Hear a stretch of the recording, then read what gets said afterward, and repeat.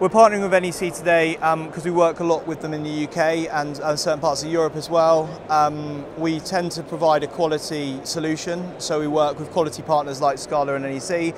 What we're showing on the stand today is a mixture of high bright screens from to, to LED, uh, right through to interactive touchscreens, uh, GIF and photo mirrors where you can take a photo um, of yourself and overlay um, certain elements. And then we're doing some big interactive video walls as well where you can fling content up and so people can show kind of what products we're showing off.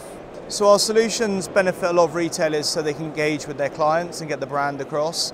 We do a lot with user-generated content where people can upload, um, their, take photos in store and upload them onto large screens. Um, and it just allows brands to engage with their clients um, and, and customers better. It's great to see brands really starting to roll this, this hardware and software out now and it's not just seeing it in flagship stores.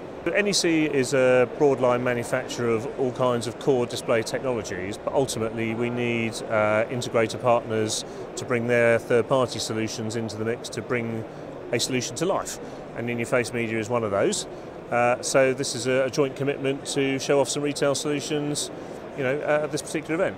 So for the retailer side of things, uh, having, a, having a manufacturer like NEC that first of all can help them internationally because invariably a lot of them have franchises or their own shops uh, abroad as well, so there's product continuity, whilst having the vast range both within the technologies and a range of technologies as well, mean that they can have scalable rollouts which are easy to sort of uh, easy to fulfill, but also allows for the weird and wonderful things that crop up invariably. Uh, from the shopper's side of things, uh, that investment by the retailer then allows them to have continuity of their brand experience when they go into the stores, be it a small grade 2 listed building in, say, Winchester, compared to a big out of town one that's a new purpose built design. So it, uh, it offers the retailer the ability to have a mixture of tier 1 investments for key flagships, where they might put an LED solution in, but also tier two stuff for brand continuity in the uh, maybe the more regional locations that don't have such a budget behind them.